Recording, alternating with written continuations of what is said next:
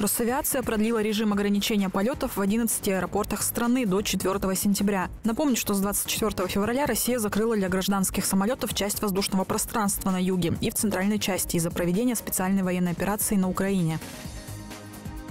На Ямале 15% работодателей, которые ищут персонал на платформе HeadHunter, предлагают соискателям зарплату более 150 тысяч рублей. В лидерах самых прибыльных вакансий августа должность зама генерального директора в топливную компанию Нового Уренгоя с зарплатой от 150 до 600 тысяч рублей. На втором месте вакансия ведущего менеджера по лизингу с доходом от 300 тысяч рублей. Отмечу, средняя заработная плата на Ямале составляет чуть более 75 тысяч рублей.